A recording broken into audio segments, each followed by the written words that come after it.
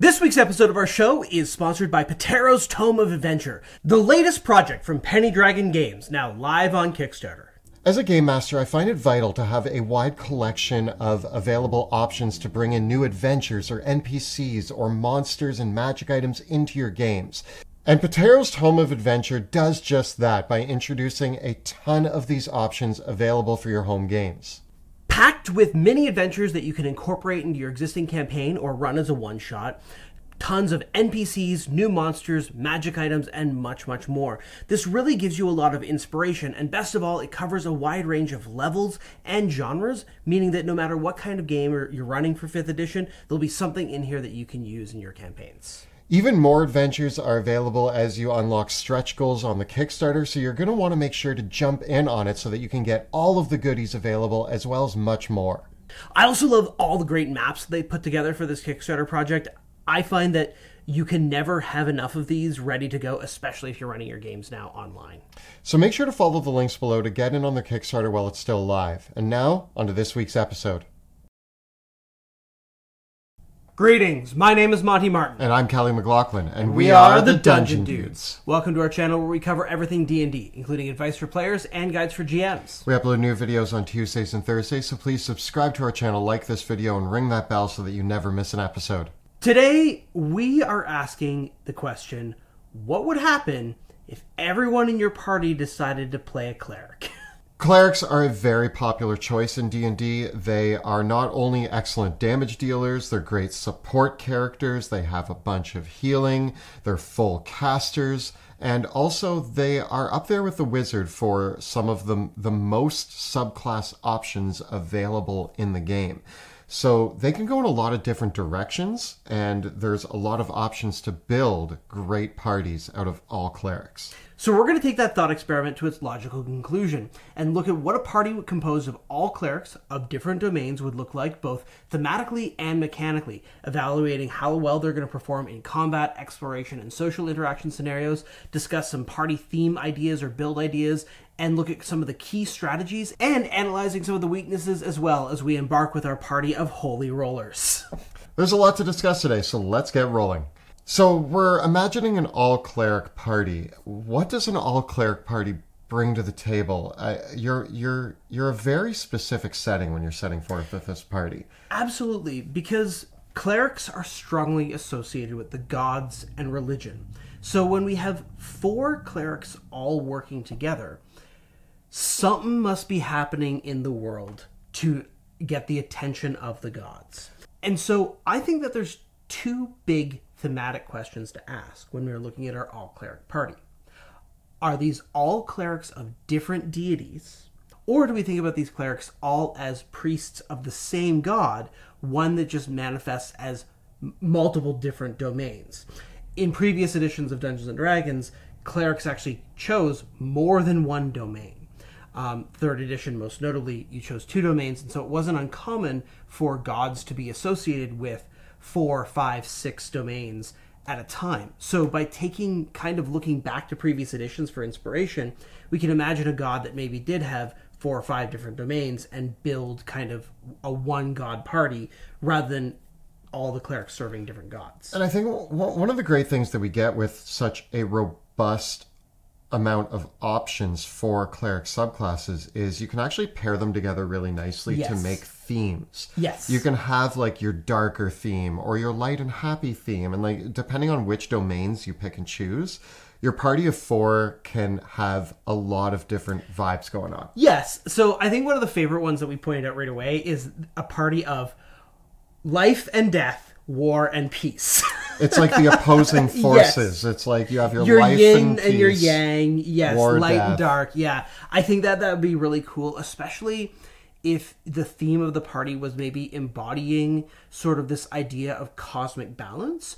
One of the really old ideas in many real world mythologies is that the gods are opposed to the titans or some other anti deity force that is out there. And so, in those situations where there is a threat to all of the gods, even the gods of good and evil will work together because there is a threat that threatens the whole family of gods. We see this in Norse mythology, we see this in Greek mythology, we see this all over the place in in in religions um, where you know whether it's the giants or the titans or some sort of Lovecraftian horror, the gods have to work together against this cosmic threat to the, their divine order that they've established. I do like this idea that you have a problem of biblical proportions, and Yeah. it's either pulling all the gods together, or when you go the other way, it could just be a war of the gods. And so, if you're of one chosen god, it's you've got to get your god to win over the other gods that are that are in this uh, sort of battle of the gods and have chosen their heroes. And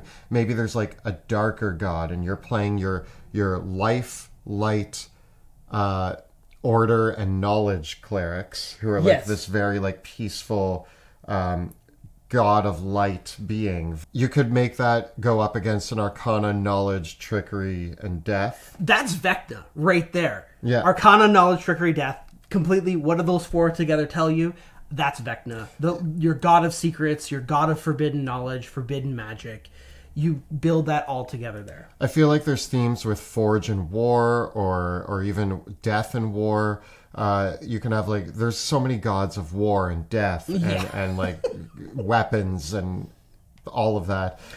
But I think you could also have your nature god in having nature and tempest, and then you could refine that a little bit by adding war and knowledge. And to me, nature, tempest, war, and knowledge, that's Odin or Thor.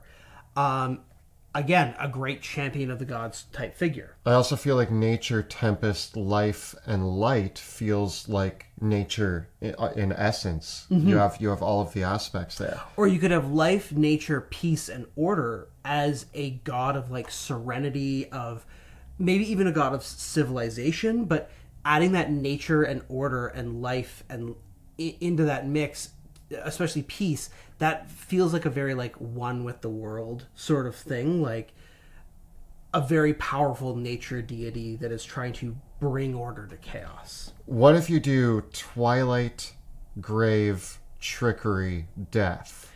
That's the underworld god. Yeah. That's like your Hades Yeah, type figure. yeah. So I think that we have so many of these thematic combinations that we could use to amplify a campaign theme. If you get a group of players together and it just so happens that they all say, "Hey, I want to play a cleric," and oh, hmm. we're all going to play cleric. Once they've picked their domains, see if there's a cohesive theme, and then maybe build the campaign around that. But yeah, and I think that, that that's where you have the difference of if you can find the combo for because part of me is almost inspired of being like take any four cleric domains. yeah, What happens when you merge them together? What kind of god is that? yeah, Um, I think you do get some challenging combinations in there, but the dualities are interesting. Like even the the god of life and death is an interesting duality, and I think that, that that's it is fun. But you can of course diverge and just say every cleric is a champion of the of their own individual god, and they're like the holy avengers working together. yeah. Uh, when we get down to our party, what is our top four? Uh, themes aside, Yeah. what four are we going to pick? And I, I actually think we run into a problem here. Yes, I think the biggest problem is Twilight and Peace. Both of us in our first list, we both picked these. Yeah. And unequivocally, it's it's well regarded that the Twilight domain and the Peace domain are overwhelmingly powerful subclasses. And when we were brainstorming our party builds, both of us came to the table with Twilight and Peace as the cornerstone. And so to challenge ourselves a little bit further, what's the combo that doesn't use these two? yeah. So put uh, there's an asterisk here that obviously Twilight and Peace. I think we actually had the same four that we came to the table with, Yeah. which we're both going to see in our list here. So we had Twilight, Peace, Light, and Trickery. Light and Twilight, Trickery and Peace. That is a weird combination, It is. But now but it's powerful. if we remove so when when we look at that it's because it kind of covers all your bases but we're going to remove twilight and peace light trickery So why do we both choose Light and Trickery? well Light domain clerics become a blaster. They get your fireball, they get your scorching ray. They are a great blaster cleric. On top of the already great damage dealing spells, they can Yeah. put out a lot of reliable damage. In addition to that, they also bring scrying as part of their always prepared spells. And I think their warding bond feature is really great defensively as a as a team building thing. I love the light domain. It's kind of got it all all there. And it really fulfills the role of our evocation wizard. Yeah. Then when we move on to trickery, the when we get to when we get to the two outside of these two, we're actually finding more of the middle ground of what clerics are, and all clerics have this like strong middle Yeah. ground. So we want to diverge. So when we look at something like the trickery domain cleric, that's where you get your almost rogue aspects on your cleric. Yeah. You get your ability to be stealthy. You have polymorph now And dimension door. and dimension door. And I, I feel like you gotta have it. You Yeah, gotta have those yeah. two spells somewhere in the party, and this is the only way to get it in the all cleric party. We've also got Pass Without Trace. Mm-hmm. We've got Modified Memory. We've got Disguise Self. We've got Mirror Image. The Trickery Cleric in a party of all clerics brings some really important utility to the table that I just don't. Th- I think we just can't ignore it. Now, for me, my other two that I'm going with are going to be the Forge domain. Mm-hmm. And I picked the Forge domain because, first of all, they're, they're just one of the best cleric options out there. They add a frontline capability that I think is Yeah. needed in this party. We, we have a few clerics that can don heavy armor, but I think none of them can really stand up on the front lines the way the Forge domain can. You can just stack your AC so high and get a really good bulwark against oncoming attacks, and somebody's got to do it. Yeah. Yeah. Now, my fourth pick is actually the Grave Domain. Their expanded spell list may not be the best, but they automatically have Revivify and Death Ward always prepared, leaving room for other cooler spells. For me, I really like their ability to negate crits from the DM at level 6. That's just really fun. And Spare the Dying is not always the most useful cantrip, but the Grave Domain Cleric can cast it at 30 feet range. Uh, just in a pinch, adding some utility support, getting people back on their feet. I really like the Grave Domain Cleric. I just think that they're a lot of fun, and so that rounds out my party. Now, one interesting thing is I we were discussing the Life Domain Cleric, which almost was in my party. okay. But you brought up a great point, and I, I want to bring that up now that the life domain cleric doubles down on healing, which is one of our it's our S tier Yeah. cleric. But with a party of all clerics, we have four clerics. We're not shy on healing. There's no, No, there's no shortage of healing potential here. So the life domain cleric, although one of the best clerics, I think the life domain stands out in a party where there isn't anybody else doing the cleric's job. I agree. There's it's almost a sense of you want to share the burden of support across all the clerics. And this is an opportunity to really explore all the different things that clerics can do when they're not healing and supporting all the time. Everyone's going to bring a little bit of that, but we almost want to look to other places. So for myself, I decided to go with the Tempest domain for my last pick. I also chose the Forge domain too, so we kind of did end up in the same place at the at the in the end with one little variation. So it's interesting to see how even the there is a pretty stacked nature to to these cleric subclasses. I just think that Tempest gives us another character with heavy armor. Mm-hmm. It gives us a really interesting selection of druidic spellcasting, notably things like Call Lightning and Destructive Wave, but also Thunder Wave. And this is something that we'll be coming back to a little bit as we, as we discuss strategy and tactics. But clerics have a lot of really good damaging area of effect spells, most notably Spirit Guardians. But what clerics actually lack in the battlefield control department are a lot of ways to force enemy movement.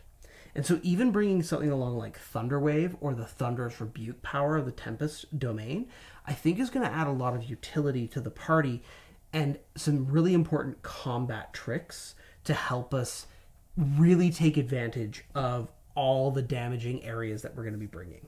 Either way, I think that it's going to be a strong party. Oh yeah. Acknowledging for a moment what we are turning down with the Twilight and Peace domains. Twilight Sanctuary is a big deal. Yeah. Twilight clerics have heavy armor. They have great dark vision. They can fly starting at sixth level. And the channel divinity power for granting temporary hit points can make a party really difficult to chew through their hit points. With the peace domain, the emboldening bond is letting that whole party basically have a permanent bless effect that is on demand. So both these domains are super, super powerful. Although I will note, I do wonder if Twilight and Peace amplify the abilities of non clerics more than they amplify the abilities of other clerics. Maybe. I do think that if you had a party that was a Twilight Domain cleric, a Peace Domain cleric, and two other characters of different classes, like two martial classes, Yeah. something, it would be terrifying. It would, yes, genuinely. But still, I do think that if you had a Twilight, a Peace, a uh, Light, and a Trickery, you have oddly a very well-rounded party that covers all your bases. Incidentally, though, what I think is kind of interesting about that specific Twilight Peace, trickery, and light is it's not clear who's the beatdown, who's the heavy hitter. I, I guess it's light. Yeah, and in, incidentally, what's interesting about that is that all the clerics in that party are generally speaking wanting to deal damage with their spells, which immediately makes the ability of the peace domain cleric a little bit weaker. Um, obviously, it's still strong, but the peace domain cleric, ironically enough, wants to be paired with party members that are making attack rolls. Yeah. And in the all cleric party, we're actually not making a lot of attack rolls except for spiritual weapon, which we'll get to. So let's dive into it. Let's look at combat, exploration, and social encounters, starting with combat. And I think that's where this party shines. this party is pretty unkillable. They, you, th- abundant healing is actually first and foremost one of one of the things that's happening here. There's not a single person in this party who doesn't have the capabilities of getting somebody up from zero hit points. Or from death, because it's pretty trivial for everybody to bring healing word. And I think you could probably be okay with two out of the four people bringing Revivify. I don't think everybody has to prepare Revivify. I don't think everybody has to have Raise Dead or Lesser Restoration, but you get redundancy. Yeah, if somebody has Revivify, somebody has Raise Dead, somebody has Lesser Restoration, somebody has Greater Restoration, somebody, uh, everybody has Healing Word. Uh, you're you're okay for any situation. Totally, totally. And of course, it's pretty easy for someone to max out aid on everybody to increase their hit point maximum. I think that everybody can have Death Ward on themselves as well. You've got the spell slots to spare for it. And in those situations where you need other forms of protection like Dispel Magic or Greater Restoration or the big guns like Heal or Hero's Feast or anything like that, the party's got that in spades. And so I imagine really all of these clerics are going to get together for their morning prayer session, casting aid and death ward on each other and and then deciding who's going to be the one today casting bless in every combat encounter. Yeah. Now, so they're going into combat already bolstered and nearly unkillable. But one of the underrated things about clerics is their spell list has some of the best damage dealing capabilities. Now, it should be noted that Spirit Guardians doesn't stack. If an enemy falls into four Spirit Guardians, they're only going to take damage from Spirit Guardians once. Precisely. Uh, so this is the same rule that says if you had four paladins, their aura of protections wouldn't stack for like a plus 16 to your saving throws. If you have two spells or two spell effects with the same name, they're affecting the same target in the same area, they at the same time they don't stack. So technically, yes, you could four, throw four four fireballs on the same area, and something's going to be end up taking 32 d6 damage. But if you had four clerics that were all surrounding the same enemy, and that enemy is over and their spirit guardians are overlapping, that enemy only takes damage from the spirit guardians once. I will still say that if your party spreads out and is standing in like a line, like 20 feet away from each other, and everybody has spirit guardians going, what you end up with is a situation where no enemy can come close to anybody in that party. Yes. And what would work is if that enemy, for some reason, moves out of one spirit guardians and into another, or passes through separated spirit guardians, then they would be taking damage. This is where if all of the clerics could get something like Thorn Whip, and you're just whipping the s- same character That's back why I and had forth. the Tempest Domain Cleric with Thunderwave. Fair. Fair. so if you could find a way to, to move enemies Yeah. through, like then it gets messy. But our favorite combo with clerics, spirit guardians, and spiritual weapon. You could all have spiritual weapons going. You can all have spiritual weapons. So if you imagine a battlefield where the clerics spread out, Yep. they all have spiritual spirit guardians, four spiritual weapons, and are now using their cantrips, um, toll the dead or whatever. I think I think really in that party you really want someone to take Magic Initiate Druid to get Thorn Whip because you want to be able to use Thorn Whip to whip people into. Yeah. Yeah. But regardless, uh, that's four extra bonus action attacks on the board every round. Uh, not to mention damaging area of effects, and then just cantrips being unleashed. yeah, and if you're worried about stacking Spirit Guardians, you could diversify because well, a character can't take damage simultaneously from Spirit Guardians twice. You could have your Light Domain Cleric drop Wall of Fire, well, your Tempest Domain cleric has Call Lightning, and one of the other clerics in the party, perhaps the Forge Domain cleric, is going to animate a bunch of objects, and then our Trickery cleric, maybe they're polymorphed into a T Rex, maybe they're they're using Spirit Guardians, maybe they're Dimension Dooring all over the place. That's a scenario where you can have an enemy taking damage from all those different spell effects. And similar to our wizard video that we did, the all cleric party does have that same benefit of being four primary casters. So when mm-hmm. we look at these spell lists, and with the expanded spell list of each of the clerics, you're going to end up with several different types of spell effects that you can have going on at the same time. And no matter what, that makes them outstanding in combat. Yep. I just think you could just pull great shenanigans by all the clerics doing something like casting command or someone using hold person, upcasting it to paralyze a bunch of enemies, or maybe all the clerics just run into a bunch of um, demons or outsiders, banishment all around, and undead. Oh man, if Undead just are not gonna make it, man. if you're the DM who said I'm running an undead themed campaign and your party shows up with four clerics, just Yeah. just throw that campaign in the shredder. Yeah, it, It's it's over. I I only one time I had a cleric in my party and I had an undead encounter and it was over in the first round. Um, I thought it would be cool to have like a horde of skeletons, uh, but they were they were like a level seven or eight party fighting like a necromancer and his horde of skeletons, and yeah, just not not happening. yeah, that was a learning lesson for me on what clerics do. And that's actually one of those interesting things because there are other channel divinity powers that give clerics turn undead, but against different creature types.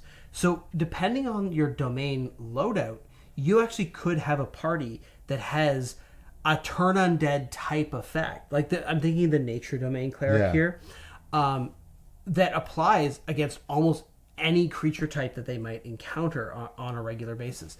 I think the they're, they're going to have an, an answer for it in some way, shape, or form.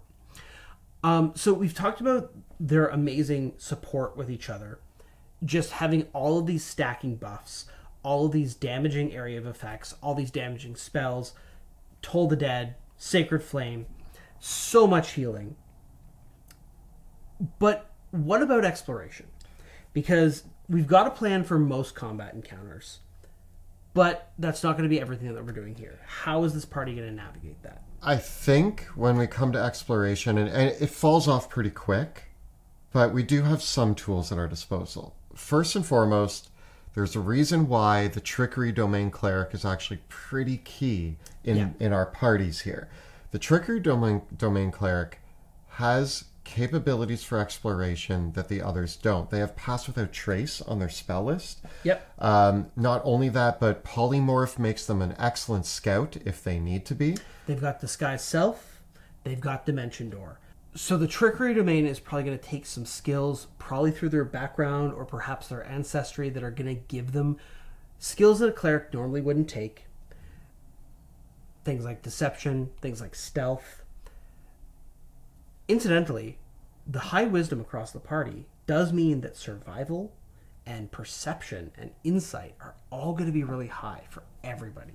I, I also will throw out there that besides the trickery domain clerics, something that clerics all have is access to divination magic. And so when we talk about exploration, I think baked into exploration in D&D is information gathering and knowing more about what's to come, who your enemies are, where you're headed, that's all part of exploration as well. Mm-hmm. And divination magic can play a huge role in that. Beyond that, I do think our clerics have to play things pretty honestly. The cleric toolkit does give us spells that are going to just help us recover. So, in many cases, these clerics are not going to worry about traps or hazards, they might just heal right through it. They could use summons as well to help them out to a certain extent. Um, find traps is not going to take you very far as, a, as a spell, um, but I think that they're going to do okay. I, it really depends on where the different clerics put their secondary attributes. You're going to want a cleric in there that does have a good dexterity, someone with a good intelligence, someone with a good charisma, someone with a good strength score, and that'll give you at least the skill use. It's not going to be fantastic, but combined with the other cleric buffs, it'll probably be passable. All clerics, of course, have Enhance Ability. So they can just say, all right, everybody needs to have advantage on their strength checks. Everybody needs advantage on their charisma checks.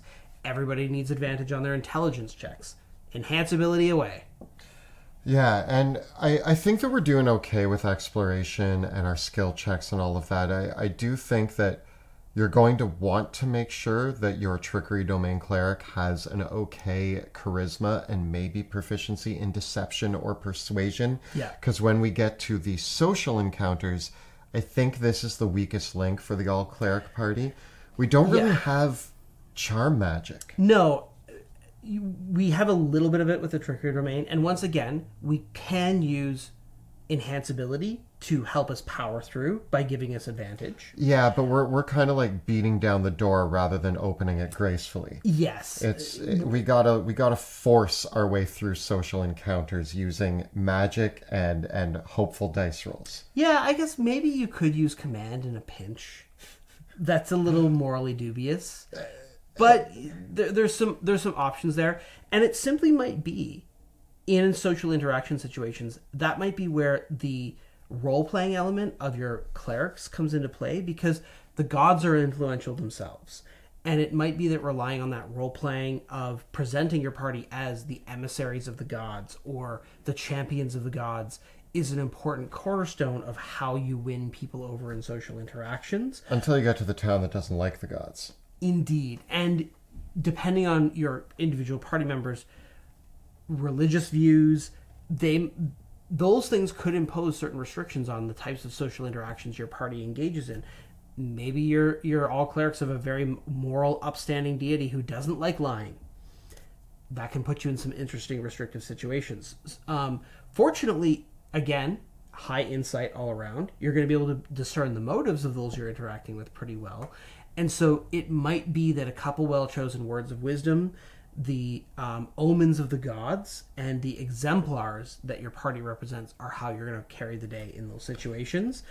But I don't think you're going to be doing any sort of underhanded business very well here. I will say that like social encounters are always tough because we rely on charisma a lot for mechanical use, but depending on your DM, wisdom could come into play Yep. in social encounters. If you're throwing out wise words and uh, sort of being a sage to the people around you, even if you're not the most charismatic person, a lot of philosophers may not have been the most charismatic, but they had a lot of insightful things to say, and people wanted to gather around and listen to them. uh, and that you could be the philosopher of your group. Yep. I will say that combat is our strongest pillar. Exploration, we have our tools to get by. Social, we're gonna need to figure it out. Yeah, that's going to be the biggest challenge. And I think as we look at the absolute winning strategies here, this is where the the winning strategies of the clerics also tie into what I think is a potential weakness or pitfall of this party. Because it's very easy for clerics with their spell lists to take the staples and load up on all the support spells and be left without a lot of options for handling diverse scenarios.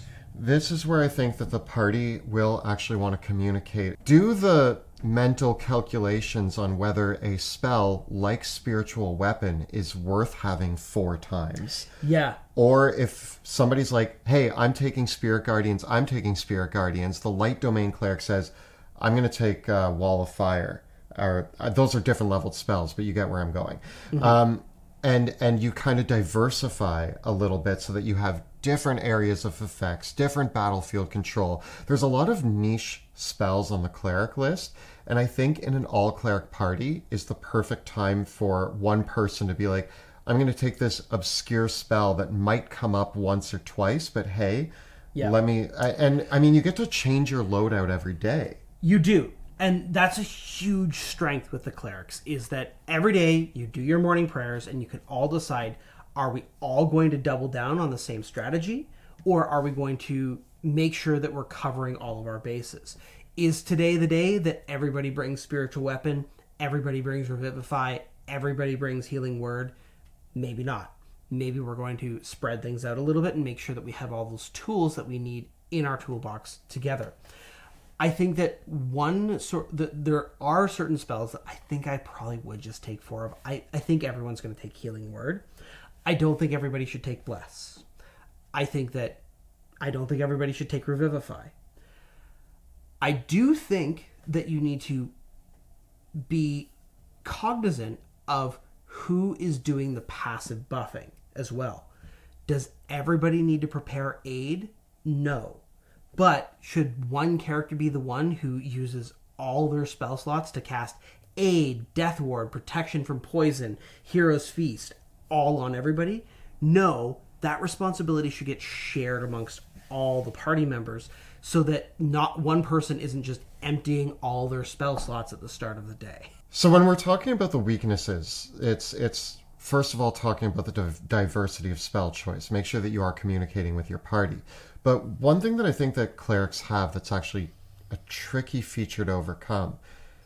Most of their spells, damage dealing spells, deal with saving throws. There's very few spells that the clerics have that are direct damage or Yeah. uh, an actual attack roll. And the higher levels you get, the more saving throws and bypassing them becomes harder. Yes, and while we do have options for some of the clerics to have a decent melee attack, it's still not going to be the most exciting thing. I have seen builds for clerics that focus on combat, but most of them result in multi-classing in some way, shape, or form. Which in our in this series, multi-classing is a little off the table. That would really help things if we could do that, because we could have our war domain cleric that grabs some fighter levels and gets extra attack. We don't have any way of doing that. And so, if we're running into monsters that have legendary resistance, magic resistance, or just really high saving throws, in particular, a lot of cleric damage dealing targets wisdom saving throws, which, when they're high, they're very high. Yeah. That's where it is worthwhile looking at hey, did everyone take the spells that rely on constitution saving throws? Did everyone rely on the ones that rely on dexterity saving throws, wisdom? Make sure that you spread out the different saving throw types and have damage dealing options for all of those. That's another reason why it's probably not worthwhile everybody doubling down on Spirit Guardians because Spirit Guardians is wisdom save based. So if you run up against an enemy with a really good wisdom save, now your damage just tanks. I will also say when it comes to cantrip selection, my go-to is Toll the Dead. But if all four clerics are using Toll the Dead, that's you're you're actually lessening your chances of dealing decent damage with cantrips. Yep, so it's probably still worthwhile having Sacred Flame and that's also why you want to have, say, the Tempest Domain Cleric and the Light Domain Cleric because they're going to bring those Dexterity ba- saving throw based spells, or even in some cases the Constitution based saving throw damage dealing spells. So all in all, I actually think that the all cleric party is really, really powerful. Uh, they have their weaknesses, but their weaknesses are not many.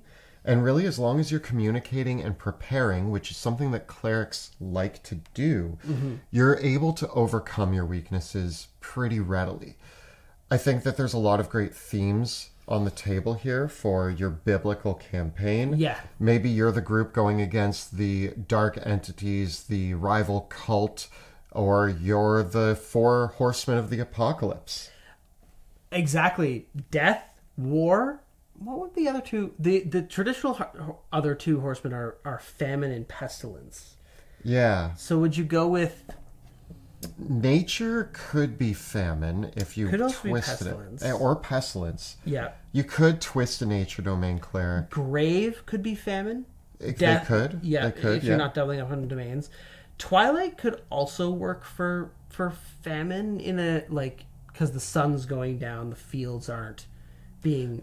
Uh, we could been- stretch the theme like just because you're picking a domain doesn't mean that you like you could role play it differently you Yeah. could have different themes so you could play the four horsemen of the apocalypse and play a very dark all cleric I also like the idea of being the Arcana, Knowledge, Trickery, and Death party that are worshippers of Vecna, and that they are all working together to like resurrect Vecna. Or to go even further with it. Okay, so in the old days of Dragon Magazine, there was a the Age of Worms adventure path. yeah And in the Age of Worms adventure path, that was all around resurrecting the god Kyuss. But one of the things that was also mentioned in that campaign, there was a villainous organization called the Ebon Triad. And this was a union of the worshippers of, I, I'm pretty sure it was Hextor, Nerull, and Erythnul, which were three third edition gods that are now pretty obscure. But basically, this cult believed that those three gods could be merged together into one god. And so you could have this super heretical belief that you all worship different gods, but you believe that they're going to like be merged together Voltron style. Into, voltron like, god we the god Yeah. of the god voltron The becoming god. Yeah. Or Um, yeah. Okay, I got I got I got an idea here. Since we're an all cleric party and we're doing biblical stories, all four of your clerics have had a shared vision of a coming flood and they have to collect animals and resources and get gather a town together to build a giant ark to save humanity when the coming flood Okay, comes. that that could be cool. I mean, the other the other like apocalyptic sort of thing is Ragnarok, yeah. right? Where it is you are the warriors of the gods. Maybe your characters, ah, okay, in a twist on like a Charlie's Angels thing, you could be Odin's Valkyries. Love it. Already love it. Yeah, that could be really cool. Like You had me at Charlie's Angels. Well, what if that that could be an interesting actual way of bringing the campaign together? What if all your clerics are like resurrected heroes of the gods or they all died on a battlefield together but the gods have sent them back imbued with divine power? You know, okay. I, I going back to my Noah's Ark, remove the Noah's Ark theme, but but what I started with there was the shared vision, and I also think that that could bring Yeah. the party together, even if you're from four separate gods. Well, the idea of prophets and Yeah. prophecy. you all yeah. have the same. You all have the same vision. Each of your gods has a prophecy of the coming end of the world. The four of you are the ones who had the vision, so you kind of band together. and all the gods have a different piece of the prophecy Yeah. right and maybe there is like some sort of divine thing where like the gods cannot the gods have to act through mortals to realize this prophecy yeah. right yeah that could be super interesting i wonder also if there's an interesting way of bringing in like bahamut and tiamat and the dragon gods into this sort of idea Everybody plays a dragonborn cleric. that could be cool too Do we give the all cleric party? I give it an a plus I agree with that. i think it has some weaknesses I actually think that the all wizard party is stronger. I do too. I think that the I think for me the difference between the all cleric and the all wizard party is I feel like the all wizard party has way more opportunity for shenaniganery and gets more out of their downtime. If if an all wizard party can accumulate gold in downtime, Yeah. they break the world. Whereas the all cleric party, they just have to play it a little bit more honestly. Uh, the all cleric party wins in like sheer force. I think the biggest thing that the clerics have over the wizards, the clerics have a lot more resilience. Uh, the that is the one thing. The so the all wizard party. Uh, I should say this. If we're giving this an A and the wizards an S, I will say that from levels one to five, wizards are a D and clerics are an S. it's like from levels one to five, Yeah. you can punch the wizard party and they all die. The cleric party can't die. They just Yep. they're Yeah. unkillable. They're they're they start out the gate strong, but I think it's the one of and this is a thing that I just feel about clerics in general in fifth edition is I do feel that the cleric spell list starts to get a little thin as you get to higher levels of play. Yes, you got Hero's Feast. Yes, you got Word, Word of Recall. You still have Sunburst, and you've got Temple of the Gods for downtime stuff. You have some powerful spells, and then you do have Divine Intervention. Yeah. And that's another interesting thing is that with four clerics, your odds of getting a divine intervention happening go up. You all call out to your gods at the same But time. who answers? who answers? Yeah, who Um, answers? So I do think what we end up here is the clerics have a very strong foundation and kind of get thinner as levels go on. Yeah. The wizards are the opposite. They start with a very weak foundation, but they get stronger as the as the adventure goes on. I really don't think that there's much that a party of clerics can't handle. I I do think that these. I mean, we've started with wizards and clerics, and the clerics may very well also be S here. We just haven't made full Yeah. comparisons yet. You know one other thing that I think the clerics do have over the wizard? What? I think the clerics are better at dealing with a situation that they don't know. Yeah. right like the the generic cleric preparations are still pretty good and will carry the day for you the clerics have as much divination as the wizards do. They can take as much ad, ad, advantage of preparation. It's just that the the spell list doesn't go bonkers at higher levels like the I mean, you can't have four contingencies, four simulacrums, Yeah. four clones.